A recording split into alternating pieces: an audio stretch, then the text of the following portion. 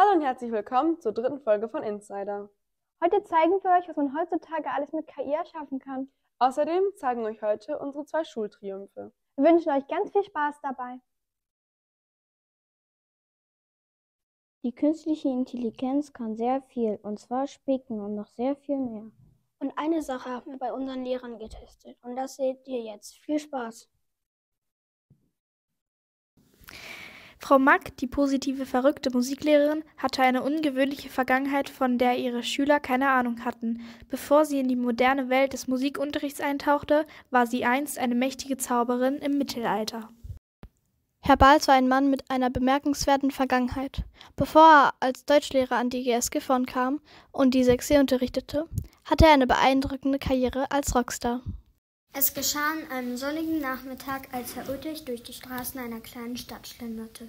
Plötzlich wurde er von einer Gruppe jubelnder Menschen umringt, die ihn mit Hochlebe der König begrüßten. Verblüfft und verwirrt versuchte Herr Utrecht zu erklären, dass, sie, dass sie ihn mit jemandem anderen verwechselten. Aber die Menschenmenge hörte nicht auf zu jubeln.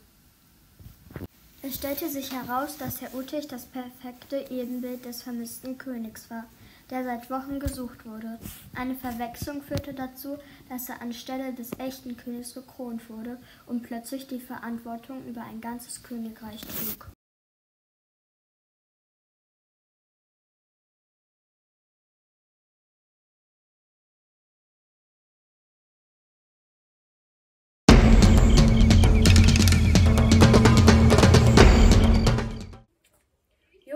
Was geht ab? Ich bin's Leon und heute sind wir hier mit Herrn Wiegmann. Wir haben gehört, dass Sie und die Lehrerschaft beim Niedersachsen Cup mitgemacht haben und dritter Platz geworden sind. Dafür erstmal herzlichen Glückwunsch. Aber was ist denn überhaupt so ein Niedersachsen Cup? Ja, Leon, erstmal vielen Dank. Der Niedersachsen Cup, das ist ein Cup, ähm, an dem Lehrer teilnehmen können für ihre Schulen und wir haben für unsere IGS teilgenommen, haben gegen andere Lehrerkolleginnen gespielt und haben den dritten Platz gemacht. Dann sind wir sehr stolz drauf. Es gab diese schöne Urkunde und auch diesen wunderschönen Pokal hier. Was muss man denn so beachten bei so einem Hallenturnier?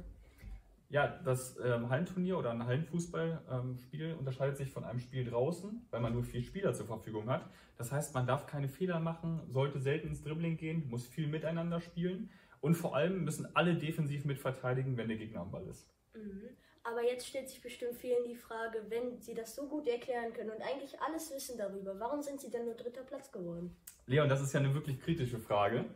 Aber ich stelle mich dieser Frage. Ähm, ja, leider sind wir im Halbfinale ausgeschieden, weil wir kein Tor geschossen haben. Herr Krause-Bronet hat leider nicht getroffen.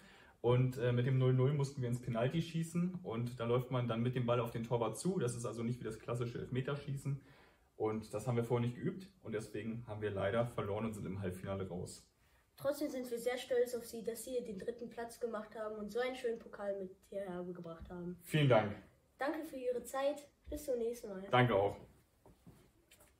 Jo Leute. Hallo, ich bin Jonas. Ich bin Lias. Äh, und die Lehrer sind nur dritter Platz geworden. Aber die Schüler des siebten und achten Jahrgangs sind erster Platz beim Gifferner Cup geworden. Herzlichen Glückwunsch an der Stelle.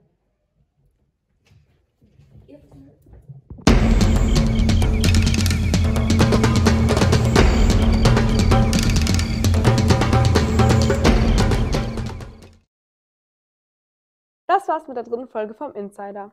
Der neunte und elfte Jahrgang, der eben mit einem Praktikum macht, wünschen mir ganz viel Spaß und Freude dabei. Wir hoffen, es hat euch gefallen und bis zum nächsten Mal.